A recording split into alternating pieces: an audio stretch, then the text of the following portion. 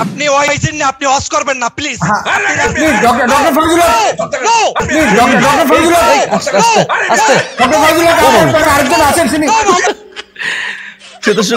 Major Mohammad Ali. এই এই শুরু করছে দেখেন না একটু। দর্শক মেজর মোহাম্মদ আলী তো আপনারা সবাই চিনেন। ফেসবুকে অ্যাক্টিভ চিনেন না এমন না। কুমিল্লার এই মুরাদনগরের এই লোকটা আসলে ইসলামটাকে নিয়ে যা- যেভাবে ইচ্ছা সেভাবে সে ব্যাখ্যা দিচ্ছে। কোরআনের যেভাবে ইচ্ছা সেভাবে মন করা কথা বলছে। ওলামাই কেরামদের মান সম্মান সবকিছু ধুলে মিশিয়ে দেওয়ার জন্য সে খুব চেষ্টা প্রচেষ্টা চালিয়ে যাচ্ছে। বলতে যে বলে যে নাস্তিকরা যে এজেন্ডা নিয়ে মাঠে নামে তাদের এজেন্ডা মনে সে বাস্তবায়ন করার জন্য মাঠে নেমে গেছে।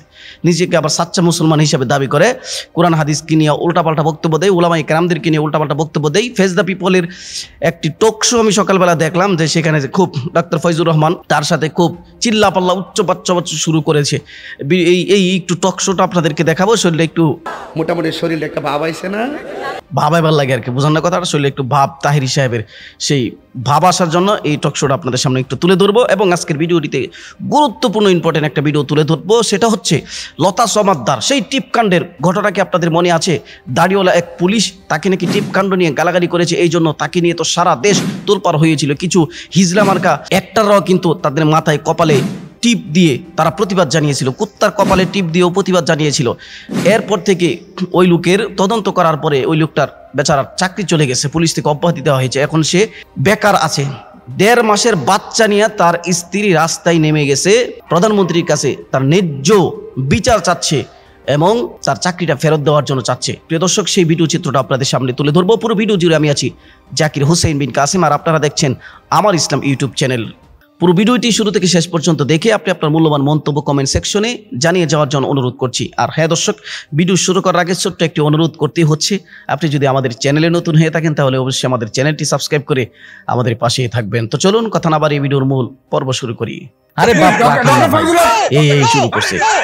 দর্শক, তো এই যে তো শুরু করছে তার ভিডিওটা আগে দেখামো নাকি ওই ভিডিওটা আগে দেখাবো না দর্শক ইম্পর্টেন্ট ভিডিওটা হচ্ছে ওই ভিডিওটা এখন ইম্পর্টেন্ট ভিডিওটা একটু পরে তুলে ধরছি এখন আসুন তার এই এই চিল্লা চিল্লি যে করতেছে এই চিল্লা চিল্লির ভিডিওটা একটু টকশোটা দুটোটা ভিডিও কি ফেস দ্য পিপলের সৌজন্যে একটা Facebook face the people live Facebook থেকে নিয়েছি আর একটা ইউটিউব চ্যানেলের এটাও ফেসবুক থেকে নিয়েছি চলুন ভিডিও চিত্রটা তুলে ধরি আপনি ওয়াইজেন না আপনি ওয়াজ করবেন না please please doctor doctor Fazlul doctor Fazlul আপনার আরেকজন আছেন তিনি নো মোহাম্মদ আলী ভাই নো আমি আমি? প্লিজ প্লিজ ডক্টর ফজলুল ওনাকে বলতে দিন ওনার বলার পর ডক্টর মুফতি আবু মাহমুদ রহমানি আছেন অন্য বক্তা আছেন তারা কথা বলবেন। আপনি ভাই ওনাকে রাজনীতি পাঠান। ওনাকে রাজনীতি করতে বলেন। রাজনীতি করতে বলেন। রাজনীতি আসতে বলেন। দাউদকান্দি গেলে কি করবেন? মানে কি দাওয়াত দিচ্ছেন বাসায় খাওয়ানোর জন্য নাকি? দাউদকান্দি গেলে আরে করবেন বলেন? ওনার নেতা আসব। ডক্টর গোদাম আরে ভাই আস্তে আস্তে। আসব। আসব আপনাকে পাক করে খাওয়াবো। আপনার ঘরে ঢুকবো আমি সমস্যা কি? আমি কি চোর না ডাকাত? আমি আসব না কেন?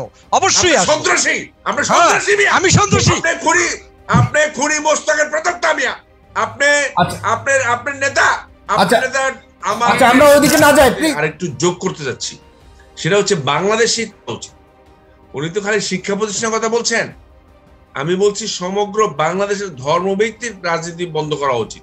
সমগ্র বাংলাদেশে আওয়ামী লীগ নিষিদ্ধ করা উচিত না মোহাম্মদ আলী না ডক্টর ফজলুল ডক্টর ফজলুল আপনার সময় আপনি বলবেন। না না না না না প্লিজ আজকে এখানে এখানে আমরা শান্তিপূর্ণভাবে কথা বলতে চাই। উনি উনি না, না। না ওনার কারণ বলবেন উনি উনি না প্লিজ না না না এটা তাহলে আলোচনা হবে না প্লিজ আলোচনা আপনি শান্তি চায় না। নো নো আর রাখেন মিয়া রাখেন। আপনি আপনি উনি হামলা করেছে উনি হামলা করেছে উনি একজন সন্ত্রাসী আপনি? করেছে উনি আজকের উনি আজকের T20 সন্ত্রাসী করেছে। উনি একজন। সন্ত্রাসী করছে। সন্ত্রাসী কর্মকাণ্ড। করে ডক্টর ফজলুল ডক্টর ফজল না এ- না। এদেশ থেকে আওয়ামী লীগকে নিষিদ্ধ করেন ছাত্র ছাত্রলীগকে নিষিদ্ধ করেন। এই সকল doctor Fazl doctor Fazlul doctor Fazl করেন না। নো মোহাম্মদ আলী ভাই ইসলাম নিষিদ্ধ করার সাহস আপনার নেই। ইসলাম নিষিদ্ধ করার সাহস আপনার নেই। আপনার আওয়ামী লীগ কিংবা। ছাত্রলীগকে নিষিদ্ধ করেন। আচ্ছা ডক্টর ডক্টর আপনার কাছে হবে না। আপনি কিসের ধর্ম নিষিদ্ধ করবেন? কিসের ধর্ম নিষিদ্ধ করবেন? কিসের ধর্ম নিষিদ্ধ করবেন? No no you can not stop my mouth you can not stop my mouth আমি অবশ্যই আমি অবশ্যই আসব। দাউদকান্দিতে আসেন। আমি আপনার বাসায় আসব। আপনার বাসায় আসব আপনার বাসায় আসব আপনি চ্যালেঞ্জ আসেন। আমি আপনার বাসায় আসব। আমি আপনার বাসায় আসব অবশ্যই আসব। আপনি মুসলমান আপনার আপনার নেতা ঘুরে বাসায় গেছে। আমি অবশ্যই আমি অবশ্যই যাব। অবশ্যই যাব। কিন্তু আপনি সন্ত্রাসী ভাষা ব্যবহার করতে পারেন না। আপনি সন্ত্রাসী কর্মকাণ্ড করতে পারেন আপনি সন্ত্রাসী কর্মকাণ্ড করতে পারেন না। ইসলাম নিয়ে আপনি চুলকানি করতে পারেন না। ধর্ম নিয়ে আপনি এই ধরনের কথা বলতে পারেন না। ধর্ম নিয়ে আপনি কথা বলবেন না। ধর্ম নিয়ে আপনি কথা বলবেন না। আচ্ছা ডক্টর ফাইজুল হক ডক্টর ফাইজুল হক আপনি আমি কিন্তু ওনার টাইম বাড়ছে। আপনি যতই ওনাকে ডিস্টার্ব করবেন ওনার টাইম বাড়বে। প্লিজ প্রচার করেছেন ইসলাম ধর্ম নিয়ে উনি রাজনীতি করেন নাই।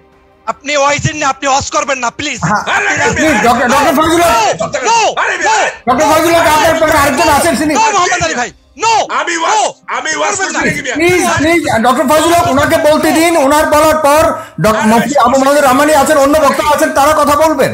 আপনার সময় আসলে আপনি বলবেন জবাব দিবেন প্লিজ ওনাকে রাজনীতি পাঠান। ওনাকে রাজনীতি করতে বলেন রাজনীতি পাঠান করতে বলেন। রাজনীতি আসতে বলেন। দাউদকান্দি গেলে কি করবেন? মানে কি দাওয়াত দিচ্ছেন বাসায় খাওয়ানোর জন্য নাকি? দাউদকান্দি গেলে আরে করবেন ভাই বলেন? ওনার নেতা। আরে ভাই আস্তে আস্তে। আসব। আপনাকে পাক করে খাওয়াবো। আপনার ঘরে ঢুকবো আমি সমস্যা কি? আমি কি চোর না ডাকাত? আমি আসব না কেন? অবশ্যই সন্ত্রাসী আপনি হ্যাঁ, সন্ত্রাসী আমি সন্ত্রাসী। আপনি আপনি খুনি মোস্তাকের প্রতাপটা মিয়া। আপনি আচ্ছা। আপনার আপনার নেতা আচ্ছা। আপনার নেতা আচ্ছা আমরা ওইদিকে না যাই প্লিজ মোহাম্মদ আলী- মেজর মোহাম্মদ আলী বলুন। আপনি বিষয়বস্তুর আলোকে বলুন বলছিলেন জি কি কারণে আপনি বন্ধ চাচ্ছেন? আপনি আমাদের মহানবী সাল্লাহ ইসলামের ওটাকে বলছেন যে ইসলামী রাজনীতি ছিল না। তার এটা ছিল ছিল। Yes. বলুন। আপনাকে আমি আজকে যদি আলোচনা করতে চাই আলোচনার সময় পাবো না আমি। তার এই উচ্চবাচ্য এগুলো শুনলে খালি মানে শরীর না খিটখিট করে। মানে শরীরের পশমগুলো দাঁড়িয়ে যায়, মন, মনে, কি যে মনে চাই সেটা আসলে ভাষায় প্রকাশ করতে পারতেছি না। আপনাদেরও সেম মনে চায়, আমি সেটা বুঝি, সেটা জানি আসলে। এই লোকটা আসলে কি বিকৃত করতেছে কোরআন হাদিসের তাকে যে কেন টকশোতে নিয়ে আসা? সাইফুর সাগরকে আমি ভিডিওর মাধ্যমে অনুরোধ করব, ভাই, এই লোকটাকে টকশোতে আই না কেন আর হাইলাইট করতেছেন? কেন? এটা তো ইসলামের জন্য ক্ষতিকর। তাকে হাইলাইট করার দ্বারা আমাদের অনেক ক্ষতি হচ্ছে। সে মুসলমান নামধারী, আমি বলি, বলতে পারি। প্রত্যক্ষ তাকে নিয়ে বিশেষ মানে স- স্বয়ং সম্পূর্ণ একটা ভিডিও করার চিন্তা ছিল, কিন্তু ভাবলাম যে এই লোকটা আসলে এরগুলো কেন করছে আমি জানি না। অবসরপ্রাপ্ত মেজর জেনারেল তো আমার মনে হয় নারে সারে কিছু তা নেই ওনাকে। দর্শক, তো চলুন এখন আপনাদের সামনে ইম্পর্টেন্ট ভিডিওটা তুলে ধরি। সেই বরখাস্ত পুলিশ যাকে নিয়ে এত জলগোলা হয়েছিল, পরবর্তীতে সে কি হয়েছিল এ বিষয়ে সে বলবেন নিজেই। আপনাদেরকে চলুন সেই লাইভটা তুলে ধরি।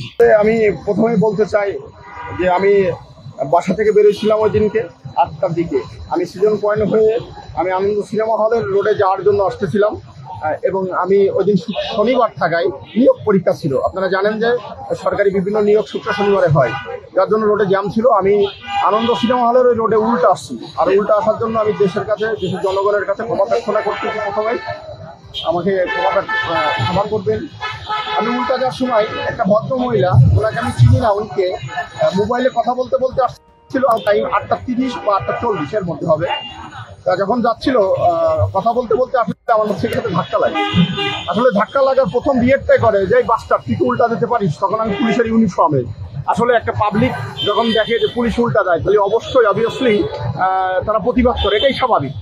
যখন তার সাথে যখন আমার সংঘর্ষ হয়, বাইকের সাথে ধাক্কা যখন লাগে, তিনি এইভাবে রিয়েক্ট করছে। রিয়েক্ট করার পরে আমি বলি যে, ম্যাডাম, আমি সরি আমি আপনার সাথে বিষয়ে কথা বলতে পারছি না। বলে যখন আমি আমার বাইকটা নিয়ে সামনে যেতে যাই, সে খুব চিল্লে পাল্লা করে যে তুই তো উল্টো দিতে পারিস। তোর তো জামাতের মতন থাকে তোর তো জঙ্গি মনে হয়, বিভিন্ন অরুচি কথাবার্তা বলে।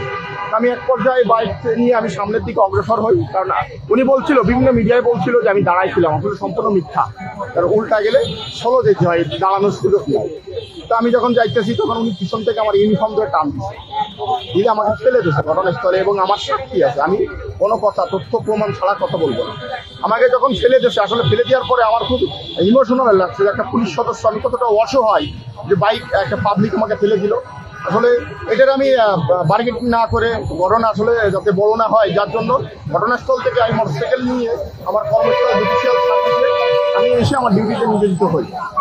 এবং বিভিন্ন সময় বিভিন্ন মিডিয়াতে জানতে পারি যে রাজধানী তেজগাঁ সিজন পয়েন্টে করা নিয়ে হেনস্থ শিকার ডাক্তার লতা সমুদ্র আসলে উনি যে আমাকে ফেলে দিয়েছে ফেলে দেশে বিধায়ক অপরাধ করছে। অপরাধ থেকে বাঁচার জন্য সুপরিকল্পিতভাবে উনি এই কীটকাণ্ডটা ছড়াইছে আমার বিরুদ্ধে। আপনারা জানেন যে উনি মিডিয়াম থিয়েটারের শিক্ষক। আসলে উনি জানে যে কোথায় কোন নাটকটা করতে হয়। তা আমি অবশ্যই তার বিচার চাই। ঘটনা এটাই এবং প্রথম একটা তদন্ত রিপোর্ট হয়, তদন্ত কমিটি যেটা আপনাদের সামনে প্রকাশ করতে চাচ্ছি। তদন্ত কমিটিতে লেখছে যে টিপ বিষয়ে কোনো প্রযুক্তি প্রমাণ পাওয়া যায়নি। কিন্তু পরবর্তীতে যখন পরবর্তীতে যখন বিভাগীয় মামলা রুজু হয়েছে, তখন additional SP Rahim Akhtar Lucky sir উনি লেখছে যে, মোটরসাইকেল যাওয়ার সময় পথে মধ্যে লটা সমদ্দার প্রবাসক থিয়েটার বিভাগ তেজগাঁ কলেজ টিপ পরানে ওয়ারসি শব্দ প্রয়োগের বাক বিদণ্ড ক্ষিপ্ত হওয়ার ঘটনার ভিডিওটি যোগাযোগ মাধ্যমে ইলেকট্রনিক প্রিন্ট মিডিয়ায় ব্যাপকভাবে প্রসারিত হয়। তার বিরুদ্ধে অভিযোগ প্রমাণ হয়। আসলে ঘটনাস্থল থেকে আমি যে বাইকে যাচ্ছি, এর একটা ফুটেজ পাওয়া গেছিল। তাতে তো প্রমাণ হয় না যে আমি অপরাধী। কারণ সাক্ষ্য আইনে সুনির্দিষ্ট তথ্য প্রমাণের ভিত্তিতে কাউকে অপরাধী বলতে হবে। সেই ক্ষেত্রে আমার সিসি ক্যামেরায় কথা না আসুক, কিন্তু ডাক্তার লতা সমদ্দার সহ আমার কথা, এটা বডি স্ট্রাকচারে তো বোঝা যাবে যে আমি তার সাথে কোনো বাকবিদণ্ডের শিক্ষক বা তার সাথে কোনো তর্ক বিতর্ক, এমন কোনো ফুটেজ আমি দেখি নাই। আমি বিভিন্ন গণমাধ্যম কর্মীদের উদ্দেশ্য বলতে চাই যে আপনারা দেখে থাকেন, আপনারা এটা প্রকাশ করেন। এবং এডিশনাল এসপি রহিম আক্তার কোথায় যে ভিডিও ফুটেজটা পেল আমার চ্যালেঞ্জ সেই ভিডিও ফুটেজটা আপনাদের মাধ্যমে বিভিন্ন ইলেকট্রনিক মিডিয়ার মাধ্যমে প্রচার হোক। হয়ে আমার চাকরি গেছে আমার দুঃখ নাই। রিজিকের মালিক আল্লাহ। আমি চাই যে সেই ভিডিও ফুটেজটা প্রকাশ হোক। হয়ে যদি আমি অপরাধী হই, বাংলাদেশ জ্যোতিষিয়ালের সর্বোচ্চ সাক্ষী হোক, আমার কোনো দুঃখ নাই। কিন্তু এরপরে দেখবেন যে ওই দিন সংসদ সদস্য সুবর্ণ মোস্তফা জাতীয় সংসদে একটা কথা বলে, সংবিধানের কোথায় লেখা আছে যে টিপ করা যাবে না? আসলে আমি বলতে চাই দর্শক আমরা এখানে দেখতে পাচ্ছি যে উনি সস্ত্রীক এখানে অবস্থান করছেন। আমরা তার স্ত্রীর বক্তব্য নিচ্ছি। মিথ্যা অপবাদে খাইয়ে দিলে এটা কি প্রধানমন্ত্রী দেখতেছে না? আমি ছোট বাচ্চা দেড় মাসের বাচ্চা নিয়ে পথে উঠে গেছি আমার একটা বাচ্চা মাদ্রাসায় পড়ে।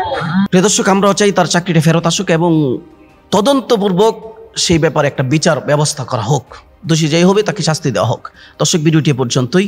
আসসালামু আলাইকুম রহমতুল্লাহ